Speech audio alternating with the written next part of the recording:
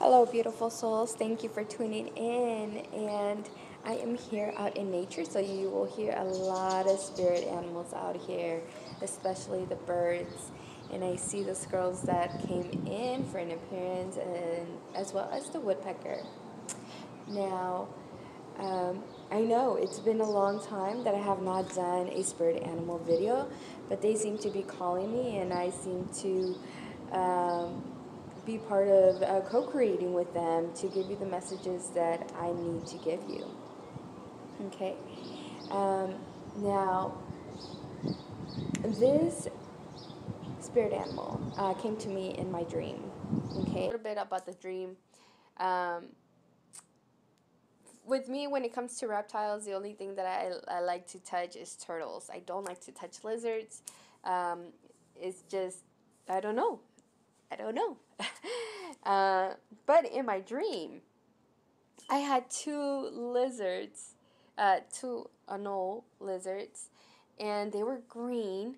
And I was just holding them. I was in my own, in my home, sweet home, uh, where I grew up um, in my childhood there. So I had these two, and they were just in my hands, like if nothing just walking, and then we came to, um, I guess, their living environment. So it was very greenery. So it was it wasn't a cage. Uh, it was very uh, open. It was an open um, atmosphere environment, and then I just put them there, and then they just went inside their little bushy, um, greenery home, right? And they felt very comfortable. I felt very comfortable. I felt very good. You know, they weren't scared. They, didn't hide or anything. They would just, you know, they're like, oh, well, welcome to my home.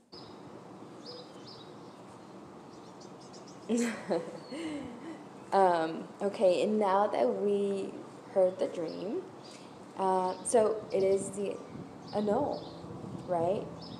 Now, if the anole and you see this animal is letting you know that you're in a good place, you're calm and you're relaxed in your environment, but it definitely comes with a warning, okay? Right now, you are in an observation stage, right? Observing your environment.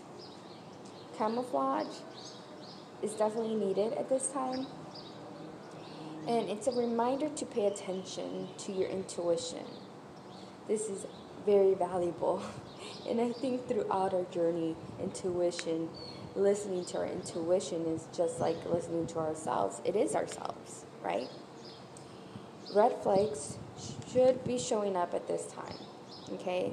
And that's why the anole is here to give us this beautiful wisdom that we are needing to know.